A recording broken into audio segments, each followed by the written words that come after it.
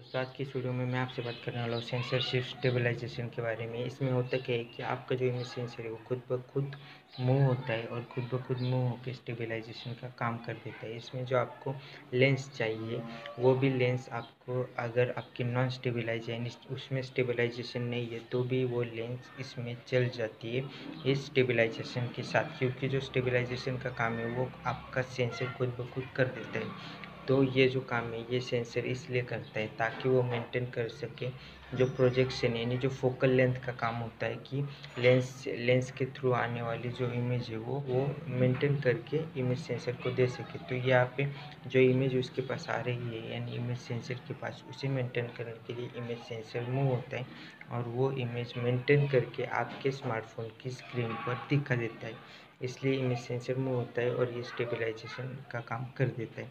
अब ये मूव कहते कैसे होता है, इसके बारे में बात कर लेते हैं।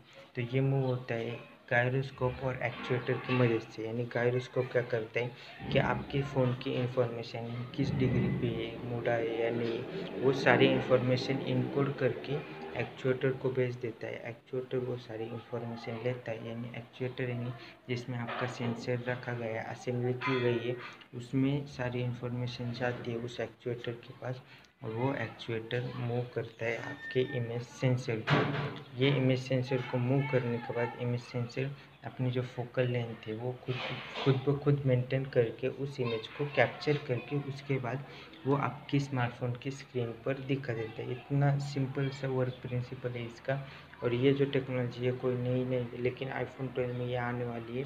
ये पुरानी है कैमराज में बहुत यूज़ की गई है सोनी वालों ने यूज़ की गई है।